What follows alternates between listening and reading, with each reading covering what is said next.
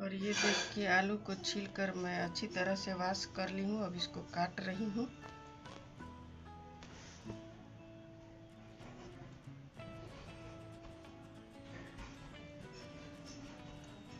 तो इसी तरह सारा आलू काट कर दिखाती हूँ। ये देखिए, आलू को मैं अच्छी तरह से काट ली हूँ और ये प्याज काटी हूँ और ये हरा मिर्ची काटी हूँ।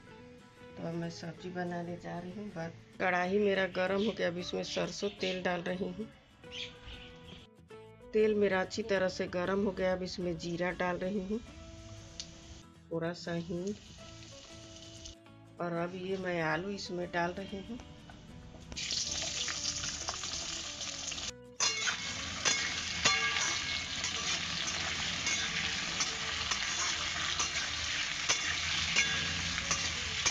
दो मिनट के लिए ढक दे रही हूँ। और अब इसमें मैं नमक डाल रही हूँ। प्याज काट के दो थोड़ा रखी हूँ इसको डाल रही हूँ इसको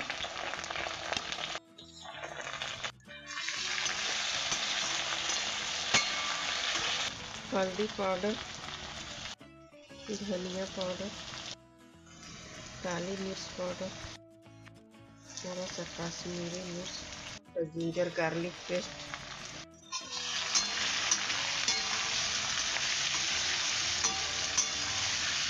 थोड़ा सा गरम मसाला